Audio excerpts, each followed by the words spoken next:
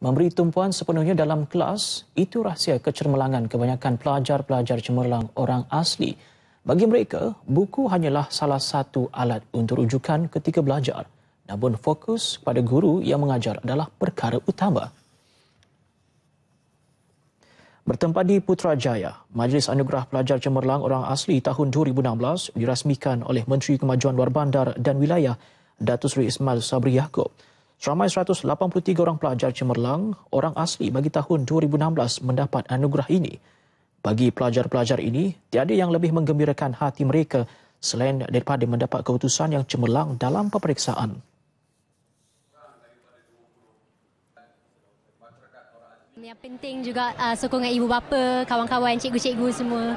Kena bahagikan masa lah dengan um, bijak and then um, just belajar je lah. Nak ke tak nak kena suka semua benda berminat.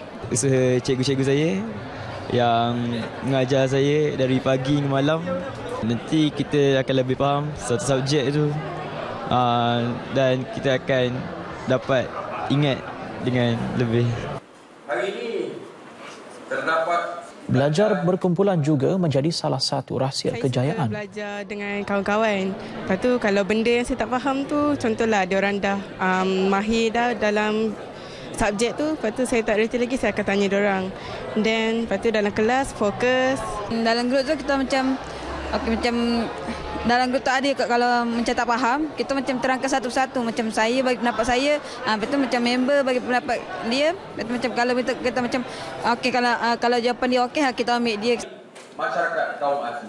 Selain daripada itu, kerjasama ibu bapa dan guru juga penting bagi memastikan kecermelangan pelajar. Ibu bapa membantu, saya ingin mengucapkan terima kasih kepada ibu bapa sebab dia orang membantu, dia orang nak anak-anak dia orang ni maju ke depan dari segi pendidikan. Pendidikan amat penting. Untuk masyarakat